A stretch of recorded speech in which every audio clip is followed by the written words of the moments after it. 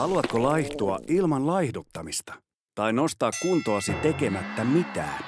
Miten olisi paremmat ja syvemmät unet? Entäpä matalampi verenpaine ihan itsestään?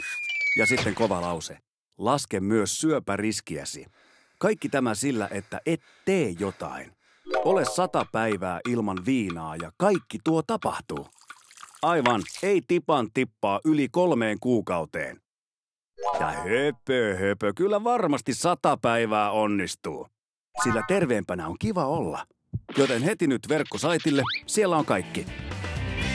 Sata päivää ilman viinaa. Ensimmäinen tammikuuta alkaen ykkösellä.